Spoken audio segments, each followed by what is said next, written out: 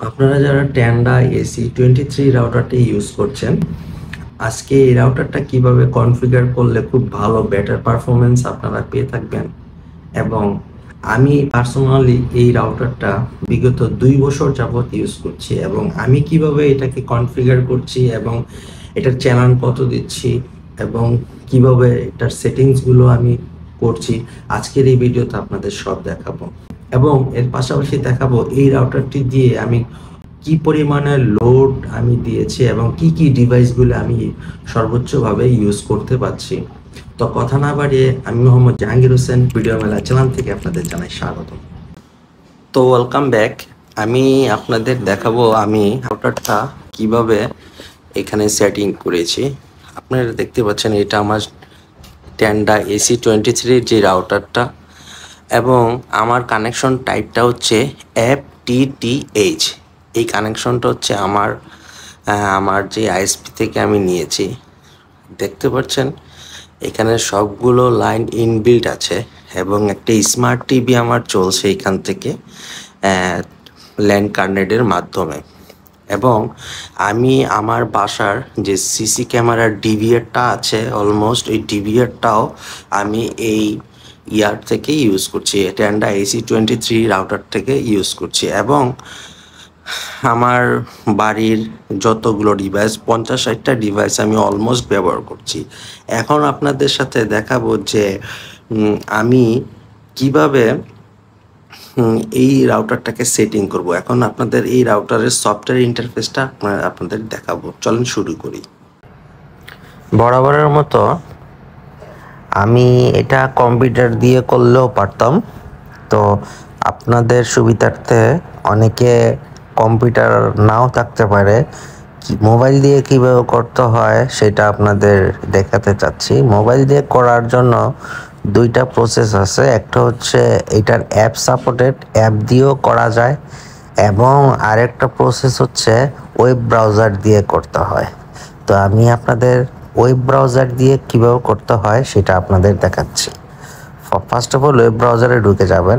ঢুকে যাওয়ার পর এখানে আপনার রাউডারের ডিফল্ট যে আইপি অ্যাড্রেসটা আছে, যেরকম one nine two dot one six eight dot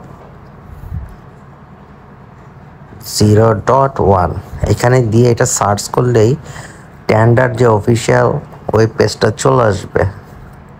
সেখানে আপনারা এখানে পাসওয়ার্ড আপনার যেটা সেটিং করেছেন সেটা দিয়ে দিবেন।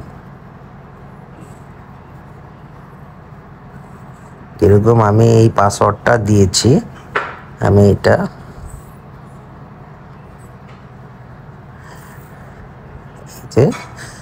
টেন্ডার অফিসিয়াল ওয়েবসাইটের মধ্যে চলে গেলাম। এটা হলো টেন্ডার ফ্যামওয়ার্ক ফ্যামওয়ার ভার্সনটার মধ্যে ঢুকে গেলাম। এখন আমাদের কীভাবে কি সেটিং করেছি সেটা আমি স্টেপ বাই স্টেপ আপনাকে দেখাচ্ছি। যেরকম প্রথমে আমি ইন্টারনেট সেটিংসে গেলে আপনাদের দেখতে পাবেন ইন্টারনেট কেবল কানেকশন দিয়ে আমি এখানে আমার আইএসপির থেকে যে ইউজার নেম পাসওয়ার্ডটা নিয়েছি, এখানে বসায় দিয়েছি।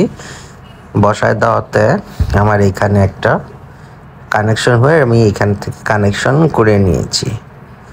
এরপর ওয়াইফাই সেটিংস ওয়াইফাই সেটিংসে ঢোকার পর আপনার এখানে ইউজার নেম পাসওয়ার্ড পাবেন। যেখানে আপনারা আপনাদের ওয়াইফাইগুলোর পাসওয়ার্ড আপনারা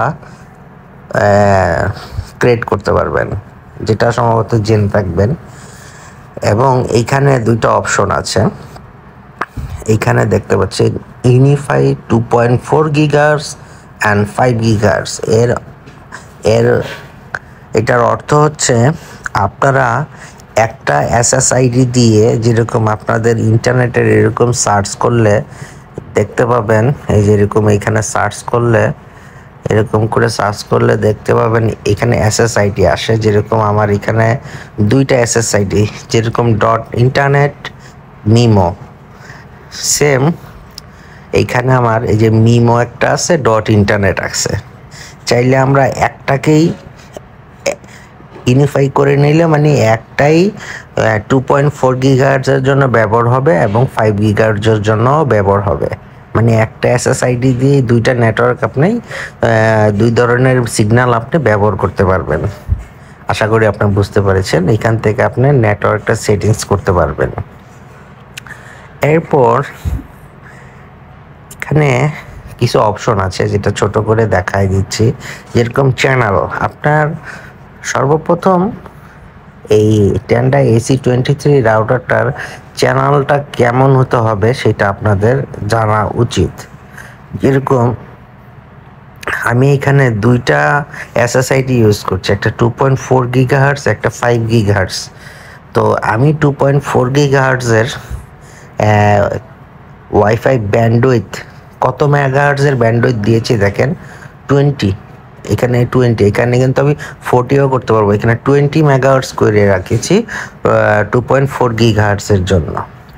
যেন আমি আমার ইন্টারনেট ডাটা ট্রান্সফার রেটটা অনেক ভালো পেয়ে থাকি। এবং ফাইভ গিগাহার্সের জন্য দেখেন আমি আশি মেগাহার্স ব্যবহার করেছি। এর কারণ হচ্ছে আমি কিন্তু ফোর্টি মেগাহার্জও ব্যবহার করতে পারব আশি মেগাহার্জ ব্যবহার করার কারণ এটা হচ্ছে, এটা ফাইভ গিগার্স দিয়ে আমার ডাটা রেটটা অনেক হাই যেন হয়, আমি হাই রেখে দিয়েছি।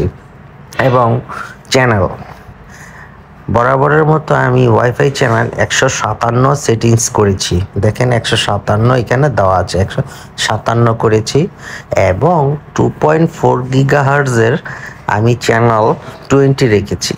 এর কারণ থার্টি রেখেছি। এর কারণ হচ্ছে আমার আশেপাশের যে ওভারল্যাপ আছে, আমি এটা ওয়াইফাই থেকে অ্যানালাইজ করে দেখে আমি এটা, আমি, আমার এরিয়া অনুযায়ী আমি সেটিং করে রেখেছি।